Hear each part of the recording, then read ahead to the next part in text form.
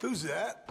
Uh, I don't know. It's just a little portrait somebody gave me once. I always quite liked it. Why? No reason. Just seemed familiar. Anyway, You know, you don't have to hide illiteracy. It's pretty common in this town.